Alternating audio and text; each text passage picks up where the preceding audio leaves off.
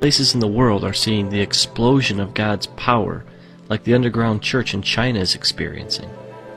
And in the last 60 years, China's communist government has done its best to wipe Christianity off the map. What you are about to see is some of the rarest footage on the planet.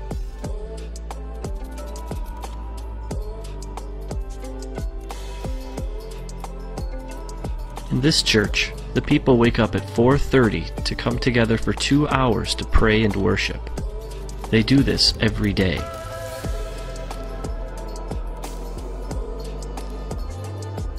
This church meets in the only place they're safe, a cave.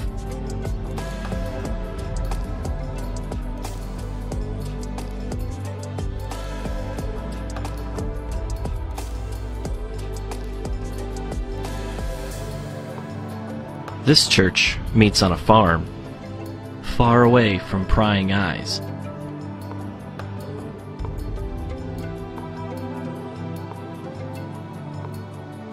Here's an example of an underground church outreach.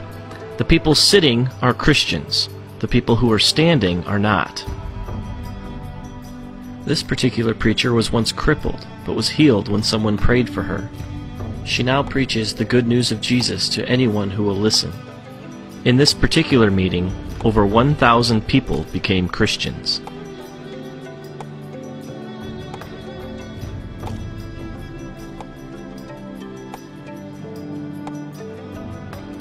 Here, Christians cast out demons from an 18 year old girl. She's now a preacher.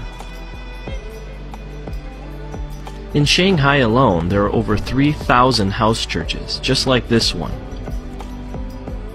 One thing Dennis pointed out to me was that most of the underground churches in China are actually led by young people. These kids have all come out of the communist system, and they want nothing to do with it. They only want to spread the love of Jesus to everybody they meet.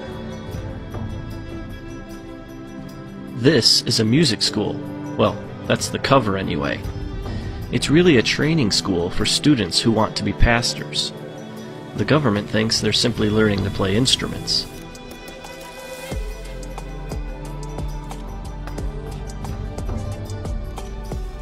One thing I quickly realized about the Chinese church is that it's a lot different from the American one.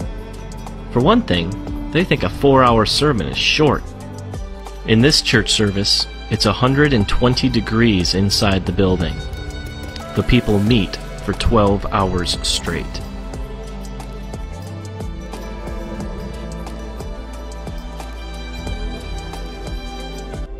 Few places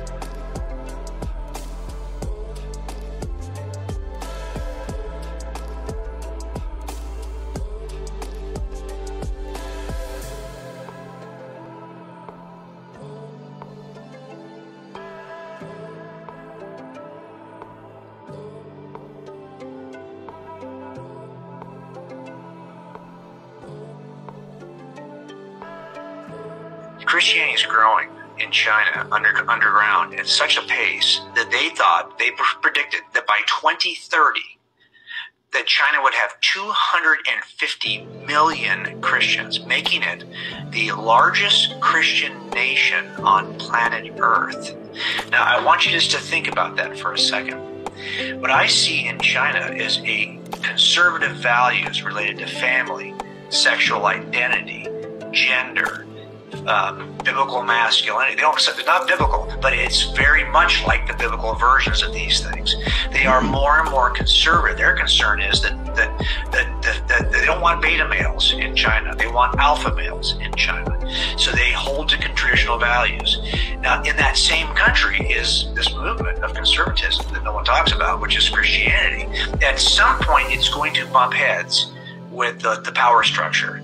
But isn't it interesting that it turns out that the most conservative nation in the world in the next 30 years might end up being a Christian nation called China? I mean, that's mind blowing, isn't it? It, it, it? it is amazing, and I have thought the same thing that the Christian community might change that country. You know, I, I, I try to never go a week without leading somebody to Jesus. The easiest people to lead to the Lord are the Chinese. The Chinese are the easiest. They're so accepting of this. I see them one day after another after another. The Chinese are coming to the Lord. If, if, if I have a webcast or something, it's filled up with Chinese. Why do you think that is?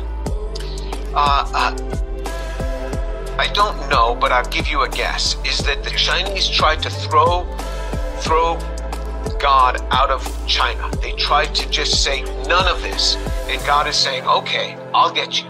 And he's just reacting back because what God does is he says, you want to throw my children in, in, into, into the, the Nile River? I'm going to drown your whole army in the Yeah. Red Sea. I mean, Yeah. I'm going to get you back in spades. And this is what God seems to do. He says, You didn't give the, the, rest to the land. I'm going to put you in, in Babylon for 70 years and give that land 70 years of rest. You didn't take care of the poor. I'm going to put you in Babylon where you are a, a refugee and you're going to be poor. You, you, you wanted I, you wanted to worship idols. I'm going to put you in Babylon where there's more idols than any other place in the world. And so God is just saying, you want to throw me out? I'm just going to give you Christians till it's coming out of your teeth. Yeah, yeah. That's so interesting. Like, China. Did you know there are underground groups in China that ride a train for 14 hours to gather together to worship God? Not only that, they sit down on wooden hard floors without air conditioning for days to worship together. On top of that, they memorize Bible verses from paper because they do not have enough Bibles to go around. And they do all of this in spite of getting arrested if they get caught doing so. Now, let me take you to Luke 13, verses 29 and 30, where Jesus said the following And people will come from all over the world, east and west, north and south, to take their places in the kingdom of God. And note this some who seem the least important now will be the greatest then, and some who are the greatest now will be the least important then. My friends, here in America, if we have to drive more than an hour to go to church, we don't go. If we have to sit down for service for 45 minutes, we don't go. If we don't have an air conditioning and a nice chair, we don't go. We have free Bibles in the palm of our hands and we do not read them. My friends, Jesus is reminding us today through the scripture in 2022 that we must revise our definition of what is great because as it stands right now, what we consider great is considered least important in the kingdom of God. God bless you. Peace out.